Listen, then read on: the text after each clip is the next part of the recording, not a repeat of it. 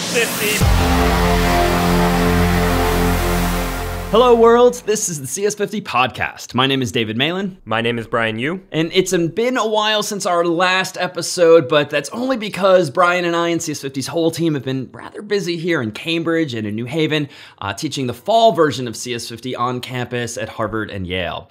But we're back now, and we thought we'd begin the coming year with a discussion of how the past fall went. Indeed, the story really begins back in June of 2019, the start of summer here in Cambridge, when we gather the team together for so called Summer 50, a retreat where we all go away together for a few days to discuss the coming summer's projects, the coming fall's changes, and really the coming year's curriculum for CS50, CS50X, CS50AP. And the theme that we decided to focus on back in June of this past year was Hecha Pa'lante, to move forward, to evolve the course, to change and make a real thoughtful reformulation of what it is we wanted to do and what it is we wanted to teach in the class. And that led to a whole list of changes that we actually announced uh, toward the tail end of this past summer by a CS50's Medium blog uh, titled Hecha Pa'lante as well. It's kind of amazing looking through this list, just like how many changes there were that we were trying to put into effect this year. Like it feels like the course definitely changes from year to year, but this year especially, it feels like there were a lot of new parts to the class and things that we were just doing differently. Yeah, absolutely. This was probably in the 13 years that I at least have been helming the class, probably the most significant overhaul of the course's structure and curriculum um, and design, really. So we thought we'd share some of the thinking behind what those changes were, uh, I'll do a bit of debrief as to how we think things went, and highlight not only the successes we think, but really some failures, things that we thought were a good idea in June of 2019, but didn't really pan out as we'd hoped. So, lectures. For years have they been one of the defining characteristics of the course insofar as they're designed to introduce the week's concepts, particularly those concepts that students need for application on the course's problem sets or programming assignments.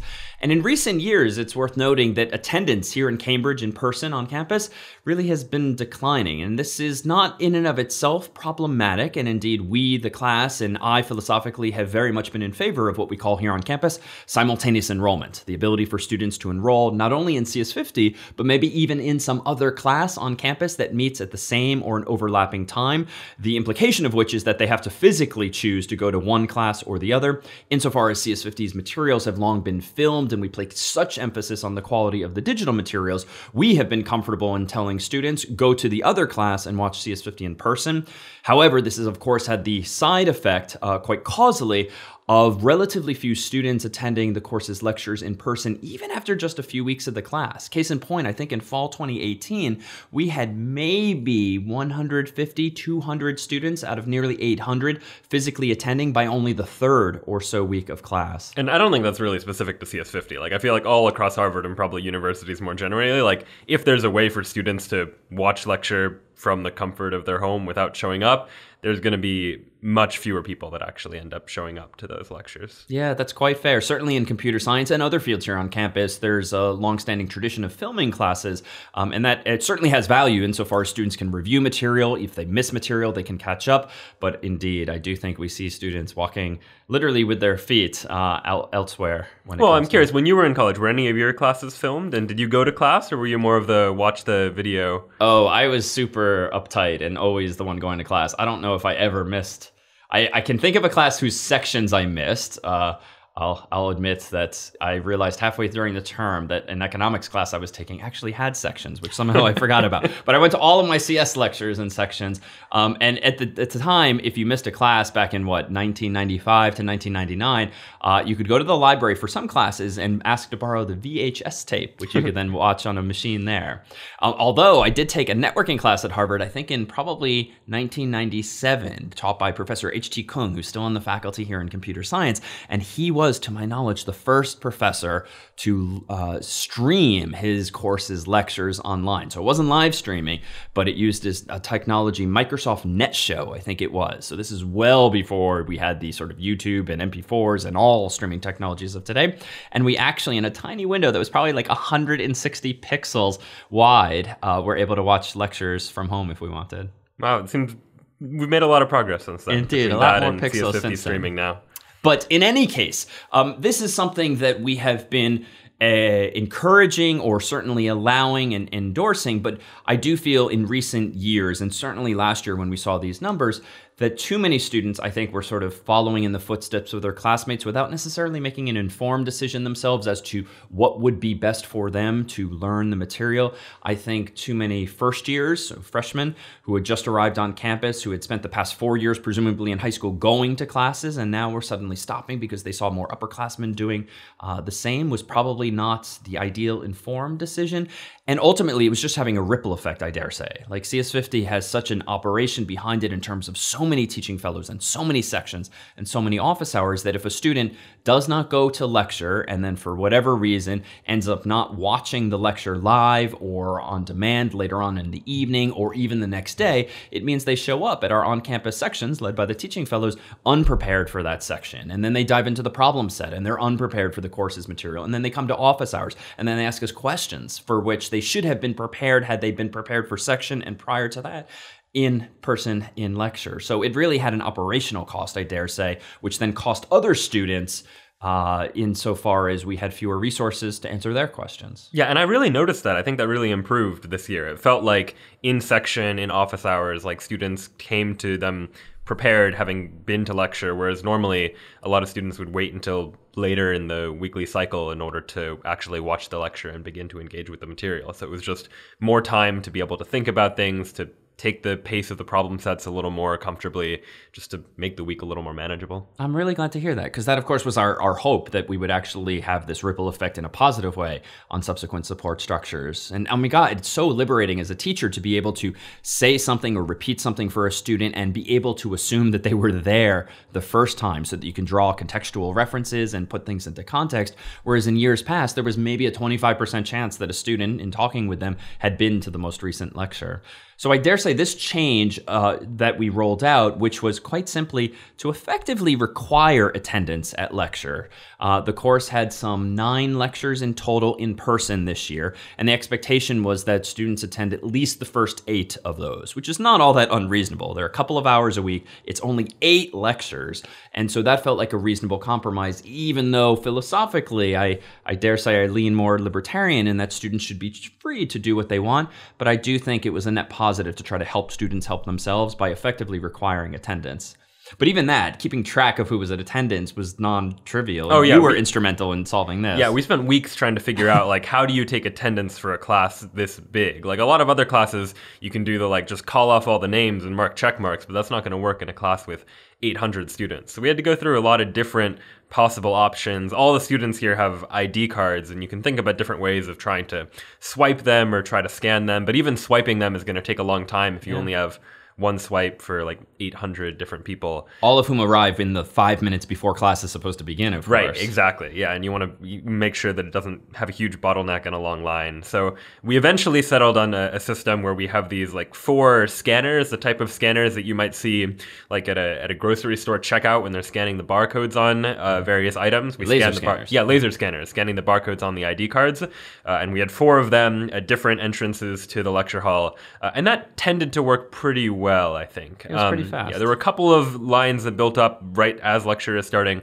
but generally it worked pretty quickly and we were able to get people inside. Well, I'm, I'm so glad it worked out because it's a slippery slope. We had talked about writing our own custom software and how you go about attaching some kind of scanner to a tiny device, whether it's an iPod or an iPhone or maybe a Raspberry Pi, and there just felt like it would be fraught with with technical support challenges. If something went wrong, you're sort of dead in the water. But these things are pretty dummy proof. They're meant to be used. Uh, we saw for like warehousing applications, someone going up and down an aisle, presumably taking inventory.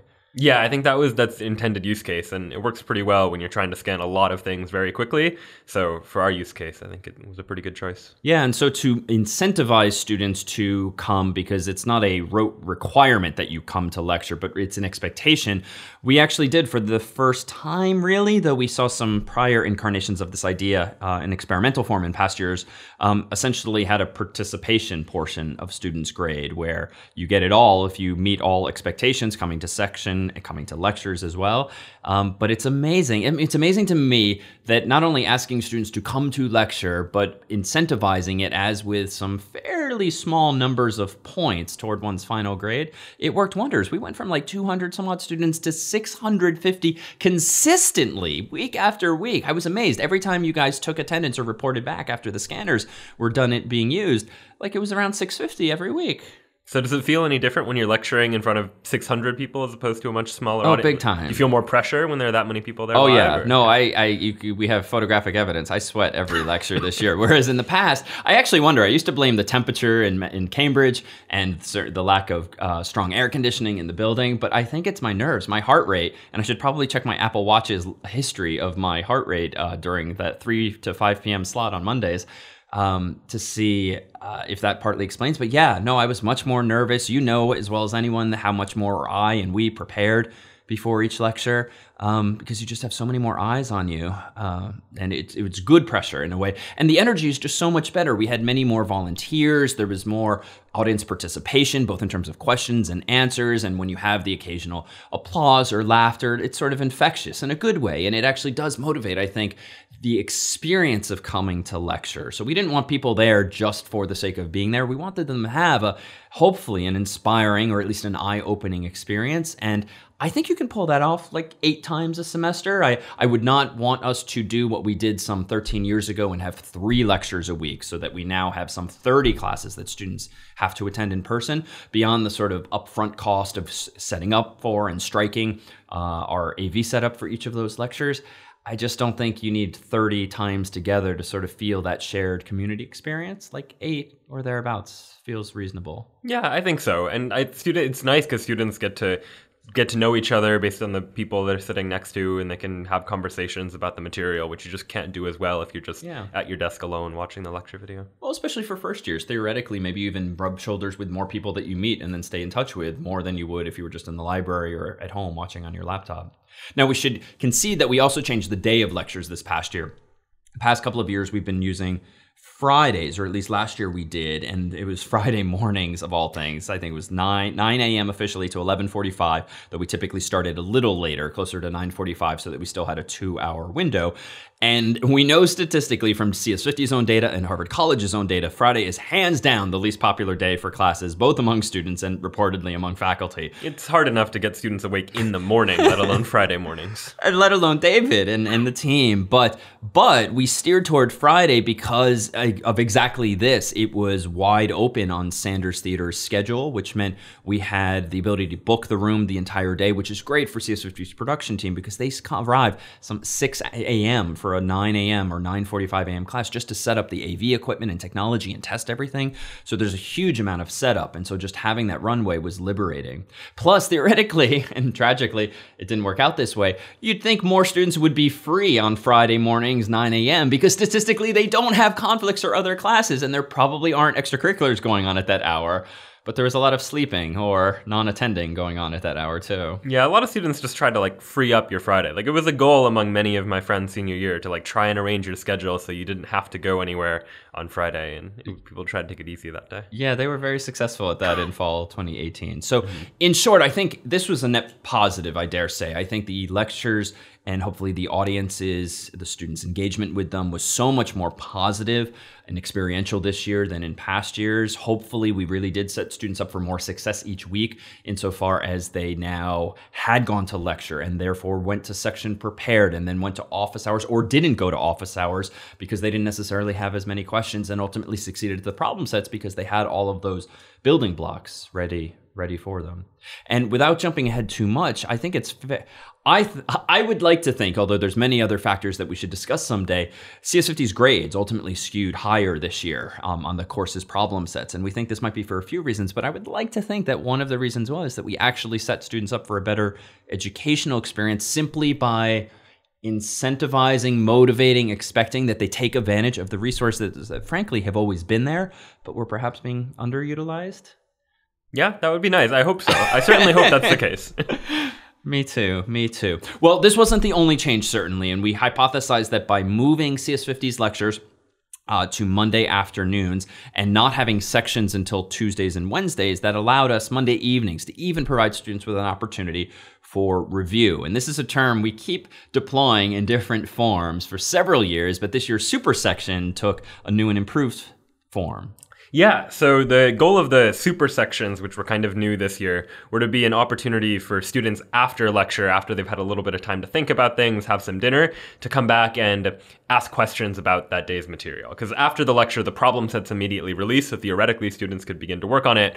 Um, but oftentimes, in a in a long lecture where a lot of topics are covered, uh, not all students are going to get a chance to ask all of the questions that they might have, especially in a class as big as CS50.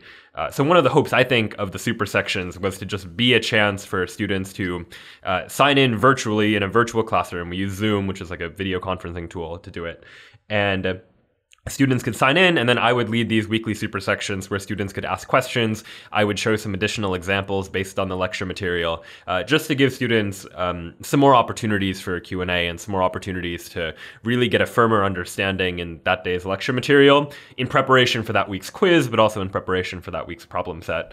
Um, overall, I feel like they were very helpful for the students who were there. Like they got mm. their questions answered, and there were always a lot of questions that students did have. Um, they weren't super well attended. I'd say maybe we had anywhere from 15 to 30 people on any given week.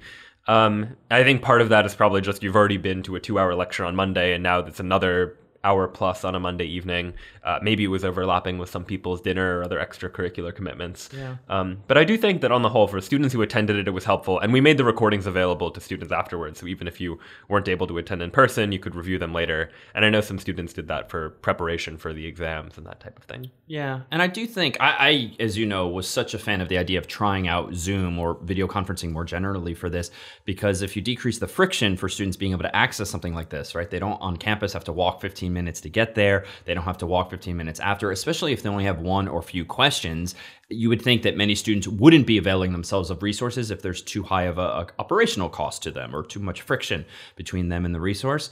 But I was disappointed, honestly. Like it is great for the 15, 30 or so students that that attended, and it was often a recurring group of students. We saw some familiar faces yeah, many definitely. weeks. But I don't know. I mean, out of 800 students on campus, 100 plus through Harvard Extension School is 15 to 30 out of 900 ish a success or a failure, do you think, for something like this? I think it's probably too small to really call it a success because it was a fair amount of time investment that yeah. the production staff had to be there in order to make it work and to post produce the video and make it available online. Um, and so I'm not sure. Now, granted, part of it may be that there were just other avenues that students had to ask questions. It's not one of our intended changes that we originally reported here. Um, but we started working with a, a, new question and answer software tool called Ed uh, this fall for the first time that just I think was a much nicer interface for students to be able to quickly ask questions and get feedback from the staff. And I feel like a lot of students ended up using that tool as a way of asking questions too. So maybe that was another avenue that students yeah, found as fair. an opportunity to ask questions. Would you be inclined to have us nix them the coming year, do you think? Uh, it's a good question. I think right now I would probably lean against doing the super sections, at least in the same form that we did them this past fall, because yeah. it didn't seem like they were nearly high enough impact. Um, but the super sections have evolved a little bit over time. Like two years ago, they were uh, in person, but they weren't every week, and they were just on the weeks when we thought the students would have needed them, and then attendance was a little bit higher. Uh, so maybe I wouldn't keep them in their current form, um, but maybe there's some changes we can make. And I'd be curious to hear what like feedback from students is later about them. Yeah, absolutely. And we did survey students throughout the semester, so we have some good data there. Yeah. But this is a, a, a concept, super section, so larger than life sections where we've tried for years to get these off the ground successfully, and they always have been this sort of middling success. And I remember some 10 years ago when these super sections were only in person, I think by the end of the year, we had one student attending at the end. But, you know, fun fact, she went on to be our head teaching fellow for three years. So uh, it's a wonderful recruiting mechanism, it seems, to see who's really, really passionate about the material. Mm-hmm. And another one of the goals of the super section, at least this year, was because it was the first year that we had weekly quizzes, which I do want to ask you about. Um, the super sections were designed to be an opportunity to yeah. help get some question and answer, get understanding of the material to, in order to allow students to be able to to work on those quizzes. So I did want to ask you about about those quizzes. Like what was the motivation in your mind behind them and how do you feel like that went around this semester? Yeah, really good question. So CS50 for many years has had a tradition of either quizzes or tests or which are really just midterms in some form. And the the format of them has evolved over time. But in recent years they've taken the form of sort of thought-based short answers questions that aren't really regurgitative of recent material from the class. They really are meant to pluck up uh, pick up some idea and take it further than class time allowed for or frankly just introduce some new topic altogether and so this year's quizzes, which were weekly Google form based small assessments, two or three questions that we gave to students after each lecture due the next morning, the idea being we wanted them to submit these quizzes after they had attended, or if need be, watched lecture. We wanted them to submit them before they attended section so that they were thereby with higher probability arriving prepared for section. And also, honestly, we also wanted to use them as a distribution vector for the types of questions that we didn't really have much time for in other windows during the term. We only had time in terms of the academic calendar this year for one test, whereas in some years we've had two such tests or two quizzes or the like. And we wanted to be able to integrate some kind of short answer questions throughout the course that don't necessarily belong in a coding based problem set. These really are different types of assessments, and they're not even just assessments, they were meant to be uh, also instructive in some form. So, they ended up, I think, by design, and I was complicit in this, probably being a little more evaluative of the previous material. I think we tended to cherry pick relatively accessible topics in large part because we knew students had only just seen the material. They hadn't yet had an opportunity to review necessarily or think about it or apply it in a problem set. So I don't think I was I was in love with the types of questions we asked, but as a mechanism for incentivizing preparation for section, I do think they were successful. I mean, students were putting in the time, and if there was any design flaw besides the the, the ideal questions, I wish we had been able to ask was really just the time frame. Um, I think if a student finishes CS50 at 5 p.m., even if they're there in person, then they go off to dinner, then maybe they have a commitment, or they certainly might have work in other classes. Not much room in the evening to actually fit it in before the deadline. But of course, our section started on Tuesdays around uh, noontime, and so we wanted them to submit in advance. So I think my takeaway is they're worth trying. I think they were uh, sufficiently successful, but I think we need to give students a slightly wider window of time. Yeah, it is tricky just how I wish there was more time in the week to be able to like have an extra day or something where we could in order to make room for this type of thing because I do think it was a good thing that the sections were earlier. In the past last year you mentioned that the lectures were on Friday and because that was at the end of the week it meant realistically most sections didn't happen until Monday, which meant we sort of lost that weekend of time. Mm. This year I thought it was actually a really big improvement that right after lecture on Monday, section started on Tuesday, which yeah. meant very early on in this weekly cycle of lecture then section then problem set, uh, students were able able to see some more examples, get some more practice, and then really feel like they had the ability to go forth and actually start working on the problem set earlier than they would have been able to last year. And I think that was a really good thing, but it also meant less time for the quiz. We really need an extra day at least between Monday and Tuesday. So if anyone out there is listening, we need an eight day week, and then CS50 would be would be better. Well, so sections two, we have taken varying approaches to over the past few years. And this year, we've uh, continued to expect attendance, which was something that we rolled out a couple of years ago. And we also tried to make them more hands on because a, a recurring bit of feedback from students is really that they don't have much time or much opportunity between lectures and P-sets to really apply what was in lecture, but then is expected of them in P-sets. So how successful do you think this was overall with the team? Yeah, this is a really common piece of feedback. So every semester after CS50 is over, I go through and read our Q evaluations. The Q evaluations are Harvard's uh, student evaluations of the courses, where students answer a whole bunch of questions about things they liked about the class, things they didn't like, and we go through and we read this every semester to see like what is the general feedback. And a big piece of feedback about the sections was like I really like my section leader, but it feels like section is just a, a rehash of lecture. It feels mm-hmm. like we're going over the same topics from lecture. Um, and there were a couple of reasons why that might have been the case. One is that last year, a lot of students came to section having not watched the lecture. Yeah. And so as a result of that, more of section ended up having to be like, let's go through the lecture material again uh, to make sure that no one feels totally lost during mm-hmm. the course of the section. So I think one improvement this year is that because we could assume with higher probability that students were actually at section, uh, that the sections were able to be a little bit more interesting. We didn't have to rehash what happened in lecture and we could actually go forward a little bit. But another common piece of feedback was students saying that they wished uh, they had more opportunity in section to actually try things hands on. That it felt like they understood things conceptually in lecture, but then struggled when it came to working on the problem set to be able to know how to actually write the code to implement what they had in their mind. And I think that's a, a common struggle in computer science. Mm-hmm. You can understand a concept or an algorithm in theory and conceptually, and when someone draws a diagram about it. But when it comes time to actually start writing the code, like that can introduce new challenges and it can be tricky uh, in ways that you might not have expected before.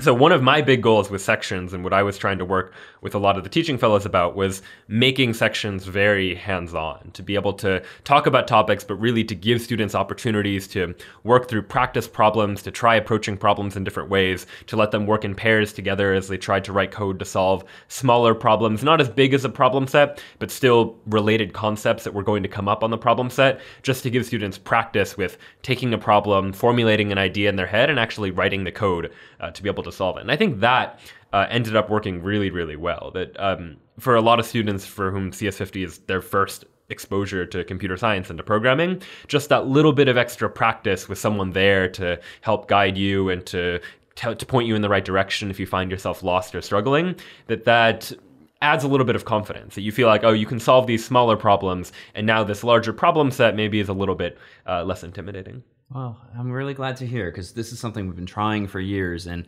it's such a simple thing. The fact that students are more prepared, at least theoretically, for class, that that makes a difference. But hopefully, we're getting even the, the finer points just right now too.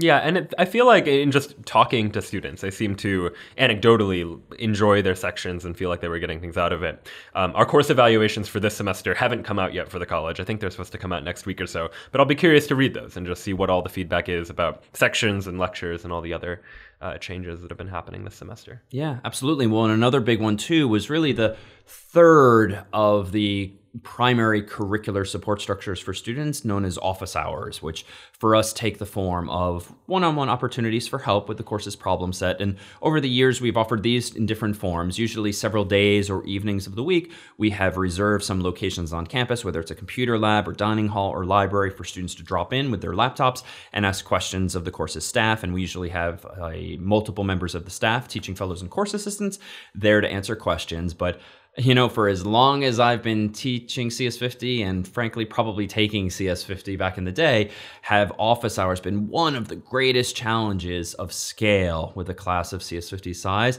Because even though we throw as many resources as we can, as best we can, it, invariably there's a line, there's a wait, and it's significant sometimes. I mean, we have quantitative data over the years where some years students were waiting at least an hour just to get their question answered. And if you liken this to the real world where maybe you go to a store and you're waiting for help from someone, or you call someone on the phone, or open a chat window to get technical support. I mean, that's the same kind of experience. And these are students in an academic environment just trying to ask questions and clear up some confusions. It's been really hard to keep up with the load. So this year, we tried to rethink these fundamentally and we have tried for so many years to gather students in one big place like a dining hall or, or uh, library and a lot of members of the staff sometimes 10 or 20 or even 30 plus members of the staff all at once.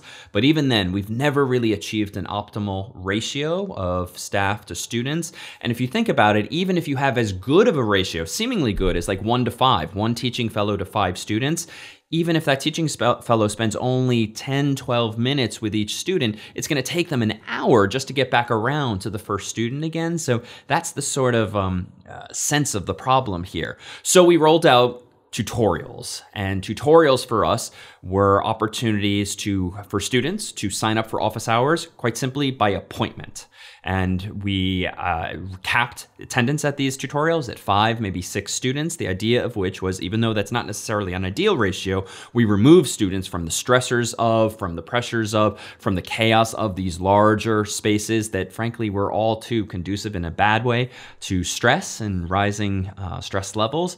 And we spread them out on campus in offices and conference rooms and dorm rooms and dining halls. And what do you think? How did they go? I think they were an improvement. And the word you used before, like the chaos, I think that was a good word to describe what office hours were like in in past years that a student shows up to office hours and there are just so many other students that are all trying to get help at the same time and there's a limited number of staff that are themselves stressed because they're trying to balance between everyone. Uh, there was a staff member who uh, took the class last year and when uh, I was talking to her about what her office hours experience was like as we were talking about office hours this year uh, she said to me uh, last year it felt like going to office hours was like going to war and you would like show up and you would have to like fight against all these other students in order to get a couple minutes of attention from one of the staff members. Um, and that just wasn't healthy for anyone. I don't think it was healthy Yeah. for the students or the staff members. No, I used to be terrified of Thursday nights when problem sets were due on Fridays. Yeah, and I think the tutorials just they feel so much calmer. Like the the ratio is one to five, and we eventually had to change it to one to six just because demand for them was so high, which I think is a testament to students valuing the help that they got at these tutorials. Um, but going to a room where there's just four or five other students just feels way healthier than going to a room where there's a hundred people all trying to get help at the same time. Uh, Well, that from the was same our- small group of people. That was certainly our hope that you could. The fact that the teaching fellow was just a few feet away and not a few tables away just meant that you knew, sort of socially, that they're going to get to you shortly. Even if it is maybe 10 or so minutes, it just doesn't feel the same. And yet, tragically, I mean, there was motivation for our larger scale office hours, so to speak, especially in the dining halls and office hours. One, we originally hoped that they would just be much more social and much more interesting than the basement of Harvard Science Center, where they once were back in yesteryear. Um, but two, there's just an economy of scale, right? With a one to six ratio in some corner of campus, there's arguably an inefficiency. And if there's some quiet time or lull time, that teaching fellow is just kind of standing there, waiting there, not actually helping anyone. Whereas in the library or dining hall, if there were a student at the other table, that TF could wander off and go help them. So I do think, in theory, the larger scale office hours were a better allocation of resources, but it came with a lot of negative externalities. Yeah, and there was also the benefit of having many staff members in the same place. Like one common thing, uh, struggle with the tutorials is there's one staff member with five students, and as a result of that, if a staff member is struggling with something, in the larger office hours where there's a lot of staff there, the staff member can turn to another TF and ask them for their input, or multiple eyes can be on the same piece of code to try and help things together. Um, it was, I think, a greater challenge for the staff to lead these tutorials. I think they're harder to lead than office hours because there's a lot more independence involved in them. That you need to be able to solve problems on your own um, because there isn't always going to be a whole bunch of other staff that you can turn to at that particular time. Yeah. Well, we did try to mitigate that by co-locating some of the tutorials so that in the same room or same building there were two groups of five to six students and one or two TFs. Do you have a sense of whether that indeed helped by just having two smart people in the same room instead of just one? I think that does help, and I think as much as possible, trying to pair people up um, is useful for just being able to bounce ideas off someone else and to do a little bit of that efficient allocation of resources. Where if there's a lull in one area, a staff member can go to another area in order to help students there too. Um, but it's not quite the same as having a lot of staff in the same place and being able to brainstorm things together. Because there are definitely issues that are tricky enough that I remember like standing around a computer with two or three other staff members on a particularly tricky bug or something that none of us could quite figure out for a little bit of time until we really thought about it together. Um, and so I think there are definitely trade offs, but I think on the whole, these tutorials have been much healthier uh, than the office hours and just a better experience for students. Yeah, no, this one's a keeper in my mind. This is one of the best Yeah, new changes we for sure. did. And yet I think it's only fair that we admit we were a little nervous at best, terrified at worst that these were going to blow up on us in that we knew that even though we have a teaching team of some 80 teaching fellows and course assistants for our 800 some odd students, there was not going to be enough slots during a week for everyone to sign up for a tutorial if they want. We were kind of banking on the fact that numerically, based on the number of people we wanted to have maximally at a tutorial and based on the number of tutorials maximally that we wanted to expect of our teaching staff for e- each week so that they balance their other responsibilities and their other classes, we couldn't handle 100% uptake of tutorials. We could only handle roughly 50%. But we we um, we we eked by, and I think you noted that we increased the capacity from five to six. Not a huge problem, um, but that definitely speaks to I do think the the uptake and the the success of them. Yeah, I'm looking at the numbers here and just we recorded the attendance at all of these tutorials so we could look back at the end of the semester and see like how many people were actually showing up to tutorials as compared to office hours.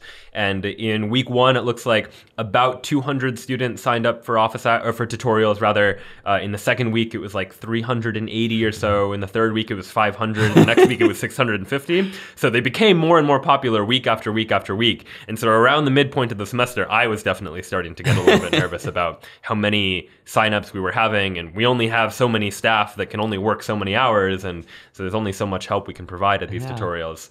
Um, but ultimately, I think it ended up working out well. Well, and thanks to you, we had a special tool for this too, because we needed some mechanism via which students could sign up for these tutorials. So Brian kindly whipped up a web-based tool that students log into, and then they click a button next to the day and time and location that they want to sign up for. And it also had the benefit of capping attendance so that only five or six people could sign up for a given tutorial. But there's interesting sociological things that we discussed over time too, because it was not uncommon for students just to be no-shows or to email us at the last minute and say they couldn't make it. And this was actually a hard problem because here we had a scarce resource that we were trying desperately to ensure was being efficiently allocated to as many students as possible. And the fact that a student might sign up for one of six, five or one of six slots and then not show or cancel at the last minute such that there's no time for someone else to take it was really frustrating. And it was hard to sort of deal with. And students were often apologetic, but I'm not sure uh, some of them appreciated that this was a resource you're effectively taking away from someone else because we were at capacity, certainly mid semester. Yeah, I don't know if it was uh, it's totally apparent to students just how scarce the resource necessarily was. That if you're signing up for something where there is no cap, maybe you feel like, oh, it doesn't matter if I don't show yeah, up. That's fair. Um, but yeah, with the tutorials, it is it is different, and it was always unfortunate when uh, a student didn't show up and another student probably wanted that time and they yeah. were only available at that particular hour. Um, and so weren't able to attend as a result. Well, and here I dare say was an opportunity for us, a, a teachable moment. And what we actually tried doing, and software helped with this, was we uh, prevented the student who was a no show and who did not give us enough time to reschedule someone else. Uh, we prevented them from signing up from a future tutorial until they took a moment to email us, the course's heads, uh, just to sort of ask that that hold be lifted. The idea being to sort of send a social message and also hopefully an educational one that, like, hey, okay, something must have come up, life happens, that's fine, but you need to handle this differently. And I think it would be interesting to look retrospectively at the data to see just how frequently was the same person a no show and to see if we actually had some positive impact here on expectations. Yeah, I haven't yet looked at that data, but I have a feeling like I can't remember too many multiple no shows where we had to um, remove the ability to sign up for tutorials multiple times for the same person. I can take another look at the data, but that'd be an interesting uh, question that I'd like to get the answer to. Yeah. Well, shall we move on to one of our biggest failures? All right, go for it. So I was such a fan in June of 2019 and for the months after that of what we called code reviews ultimately. The idea being not only in academia but the real world sitting down with someone or digitally corresponding with someone about the quality of your code and getting typed or verbal feedback about what you could have done better or differently or otherwise with your code. We in CS50 have of course experimented with different forms of feedback over the years, correctness which is now automated, style which is now automated and design which historically was done by humans, but this year we deliberately eliminated the quote unquote design feedback from student scores, in large part because one, uh, analysis of past data that we'd collected, say in fall 2018, suggested that the numbers we were assigning to students' design scores really weren't influencing their final grades as a result, but the cost operationally to providing that design feedback was huge. Of the 12 plus hours a week that one of our teaching fellows might work on CS50 and work with their students, they were spending upwards of six or more hours alone on grading. This is an isolated activity for many of them. It's heads down in front of the laptop, spending hours on end uh, providing feedback to students. And then we knew, moreover, quantitatively from um, uh, that students were barely engaging with this con- with this feedback, and sometimes weren't even looking at it, which really called into into question. So while undoubtedly I do think there is value to providing very precise feedback when it comes to the design of some students' code, what could they do better and why, the reality is, and I think we made the right call, reallocating the teaching fellows' time to more tutorials or more office hours or more inhuman time, uh, uh, human time in person, not inhuman time, is was probably a net positive given a finite number of hours in the day. Yeah, I think so. And I remember the frustration of like having to do hours and hours of grading and then students not reading any of that feedback that I spent a whole lot of time working on. Uh, it just felt like an inefficient use of my time if I'm spending all this time and students aren't actually reading any of that feedback.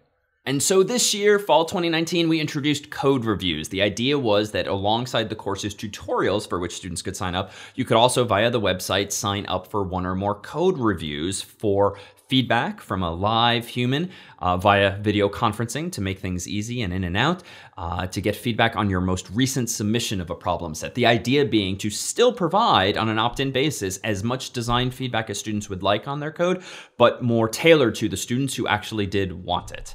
Unfortunately, roughly how many students would you say wanted it? I think we got maybe two or three signups in any given week out of a class of 800 plus students.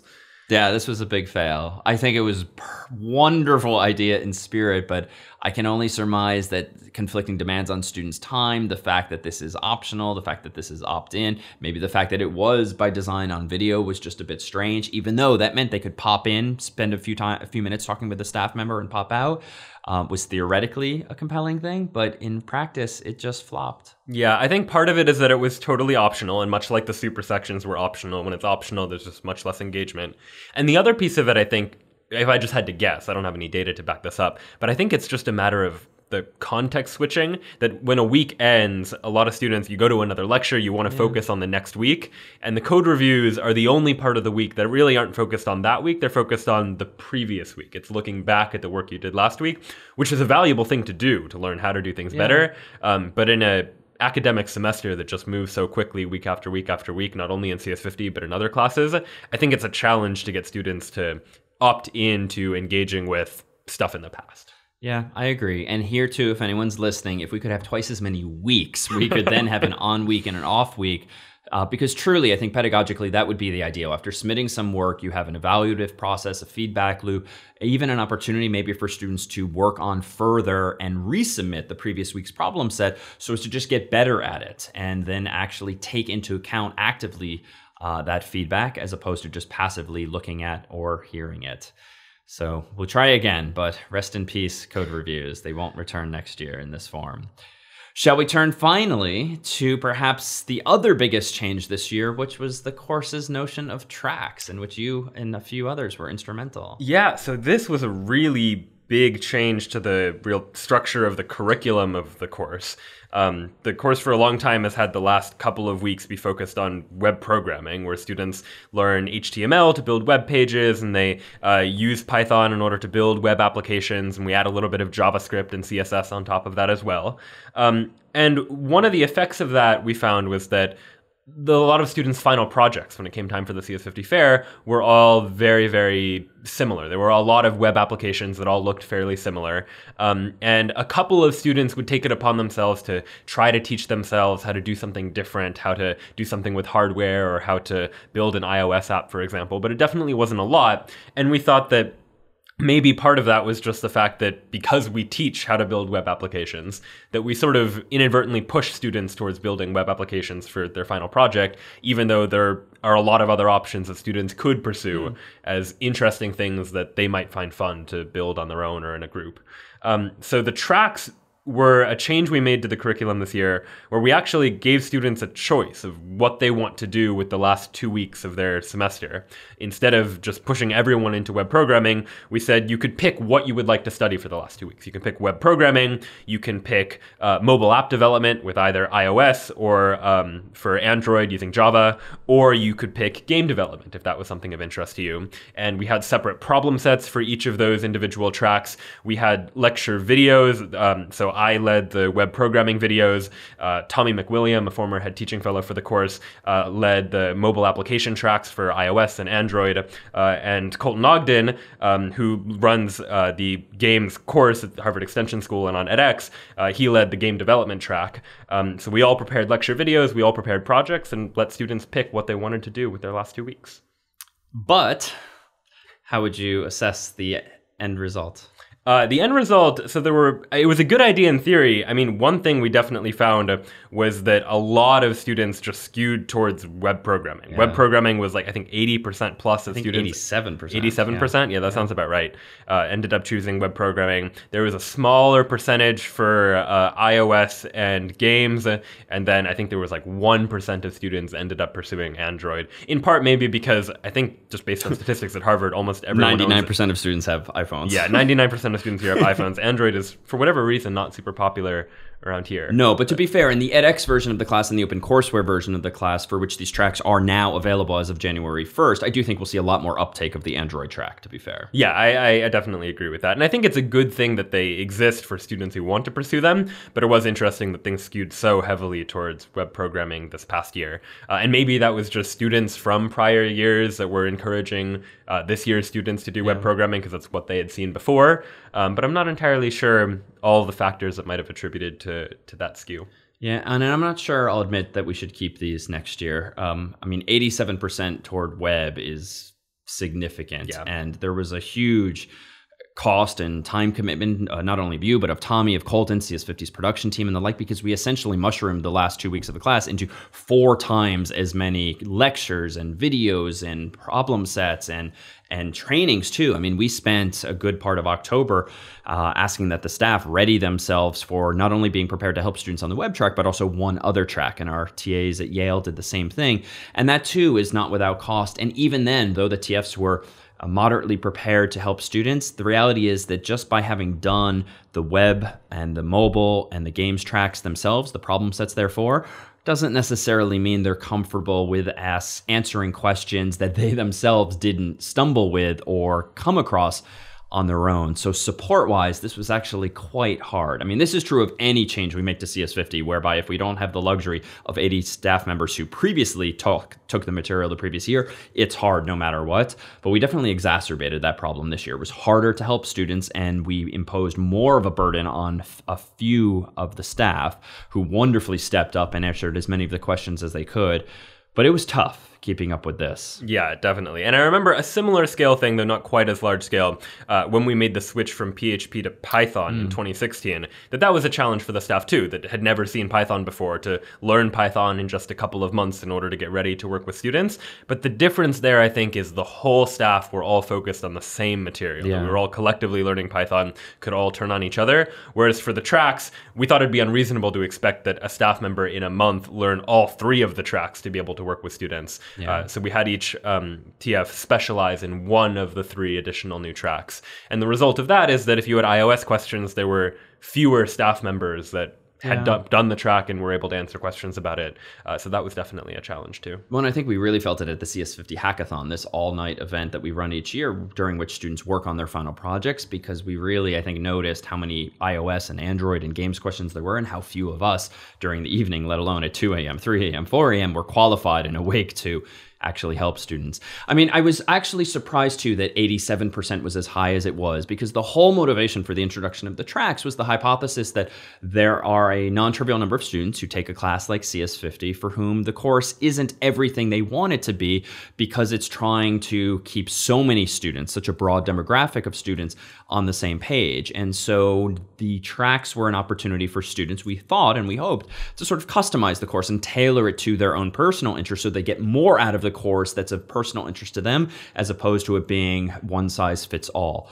So in theory, we did put that structure in place, but surprisingly did 87% of the students lean toward the version of the class we long had. So seems we somehow latched on to the the uh, the most popular track certainly some 13 years ago when we introduced it.